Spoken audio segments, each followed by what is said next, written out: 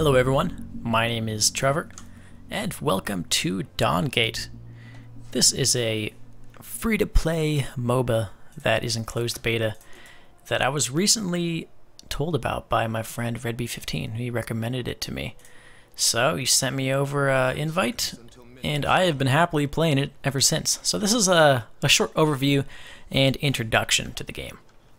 So if we open up the shop here, we see that we have a couple of different stats here. Now these items branch off into recipes that, um, how do I put this, that are based off of the original item. So like if I click on life, everything that branches off from it is going to be life. Um, and so on and so forth for the rest of them. So if we go over to our consumables, you see we have our standard consumables. Um, if we go down here, we see that we have wards. So if I place a ward here, uh, a timer starts down here. You see it lasts for 180 seconds, and I can place another ward after that. So I never have to buy wards. But on the flip side, I don't think you can buy any, so you don't really have, uh, you know, too much as far as warding the map goes. It's just up to people to place their one ward. So, this is our Guardian here pretty cool stuff. Kind of like Smite, how there's a um, an NPC instead of a building that you have to kill at the end. Um, but you can't kill them until you destroy all of these buildings here. So these buildings, um, I believe, all attribute to stats in the game somehow. I think it might be your minions. I'm not sure. Either way, you destroy all of them, and you can start attacking this guy. And the entire time you're doing that, he can attack you. So he could be pretty deadly. He has a lot of AoE and stuff. And he also gives um, the defending, um, the, what are they called?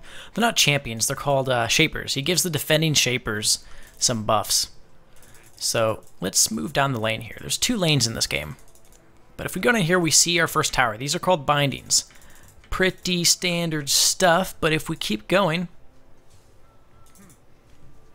we see um, eh, jungle stuff, and then we come over here and we see this is this is a spirit well.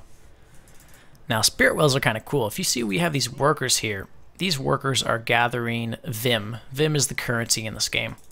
So if an enemy shaper were to come over and kill all of these workers, um, it, our Vim regeneration, or our Vim generation, I should say, would drastically slow down for a while until these guys, little these little guys respawn. Now, if we look at the top of the the uh, screen here, we also see some timers.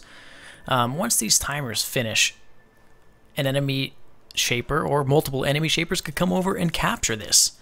And capturing this is pretty valuable because it gives you um, faster Vim generation, and it also gives you more bounty to to, to collect when uh, they kill our enemy shapers or our shapers. So if I hold two or three of these for a while, this bounty builds up and I can collect that when I kill enemy shapers. Um, this right here, I'm not sure which buff this is. I'm still fairly new to the game, but this is uh, a buff and then it might be a power buff or this might be the power buff right here. Um, right here you have the blue buff, which is cooldown reduction, and you can see the, the minions over there going at it. Um, there are larger minions called Striders, and I believe they become more powerful the more bind, uh, the more towers you kill. So here's the blue buff here. Uh, let's see here. Let's move over to the middle. So in the middle we have what's... Oh, he hasn't spawned yet. Interesting. I'm not exactly... Maybe he spawns at five minutes. But this is called the Parasite and he's also kind of unique because he will evolve two times during the game. So starting at what I'm guessing is five minutes, he spawns, and you can kill him at your current level with your uh, with your friends. And as the game progresses, he he evolves and becomes more difficult, and does so once more, each time taking a new form. And I'm not sure if he gains additional abilities, but he does seem to have single target and AOE abilities.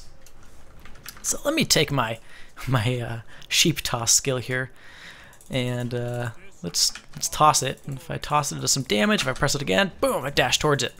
There are lots of dashes and gap closers in this game. Uh, let me let me take blink. You, you know, you got your blink right here. Then once I reach level 10, I will be given a, the choice of another spell, and then at 20, yet another spell. So I can get a total of three spells.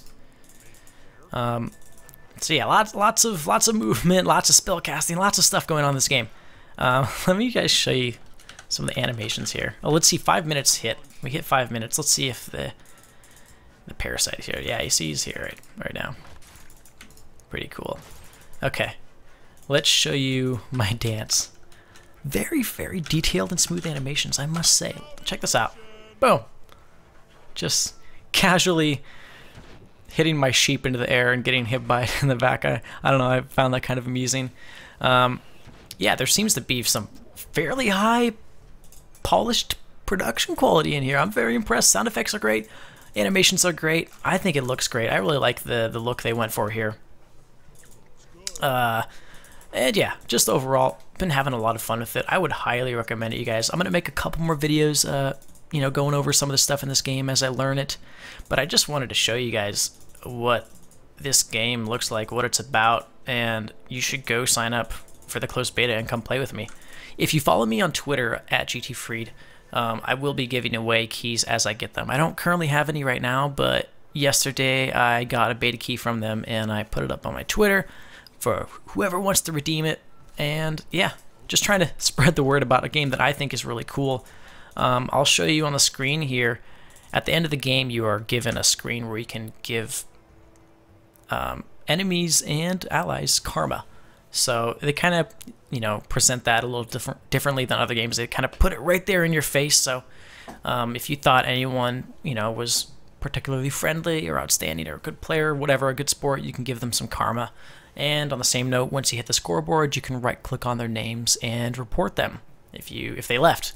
There seems to be a good amount of leavers and AFKers right now, uh, but the community as a whole so far is pretty cool. I've had a lot of good experiences playing this game.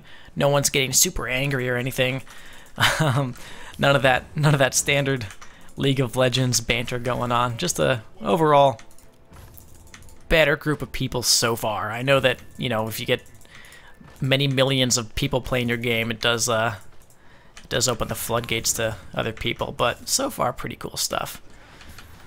Uh, so yeah, this has been the uh, introduction slash overview that I'm giving you guys. A little first look at Dawngate. I hope you guys enjoyed. Many more videos of this game to come, and I will see you in the next video. Hope you guys enjoyed. I'll see you all later.